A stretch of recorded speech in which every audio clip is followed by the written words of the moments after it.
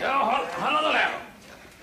Amado mestre, meu amigo, meu irmão, companheiro, também conhecido como meu bom senhor. Eu fico muito agradecido por essas, essas maneiras várias de se dirigir a mim. Obrigado, mestre. Isso é uma coisa que muito me envaidece.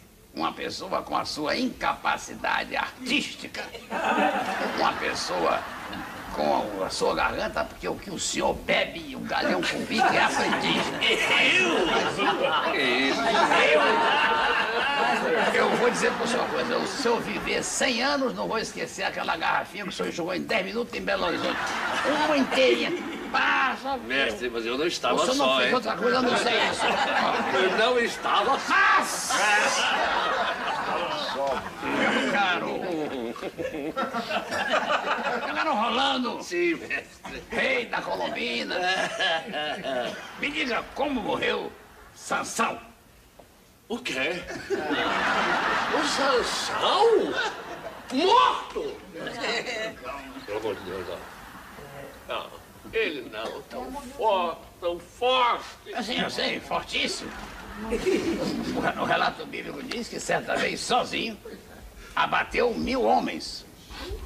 Não é nada. Uma vez ele me confessou, amantíssimo, que o grande sonho dele era enfrentar sozinho um arrastão ali em Ipanema. Era o sonho dele. Sansão?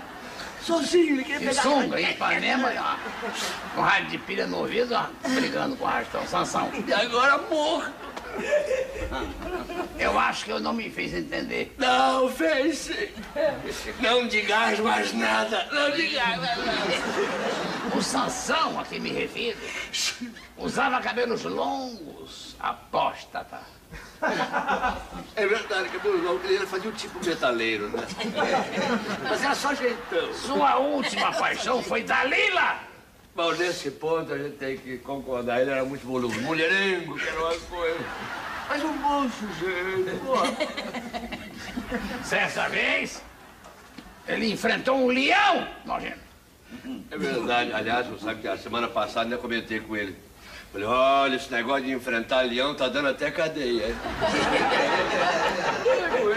Ele morreu há mais de 3 mil anos. Teria sido pisoteado por dinossauros? Eu, eu- eu não devia, mas vou lhe ajudar. Grande crápula das alterosas. Sansão morreu. Ex, ex, ex...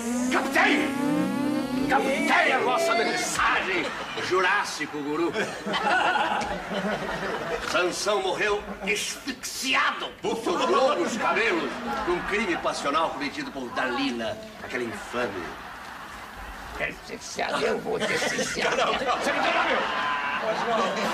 Sansão morreu esmagado entre as colunas do templo do deus Dagon, que ele fez desmoronar com sua força descomunal fornecida pelo deus Jeová, coisa que qualquer lacraia saberia responder. Este é o Sansão da sabedoria. É um gigante intelectual. Queria ter um filho assim. Meu marido é assim. Mas, meu, sabe o que que eu observei? Que o senhor está... Amiodado. Nem tanto, nem Eu tanto, diria mais, o senhor está, está, está... Amimador. nem tanto, nem tanto. O senhor está, está, está... Amidalóide.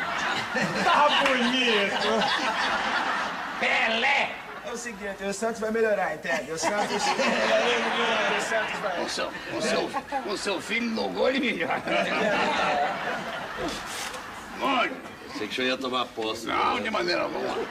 Está apenas usufruindo um pouco desse ané rambomê Ah, que o senhor coloca. Eu nem sabia que eu tinha isso mesmo. Não, não.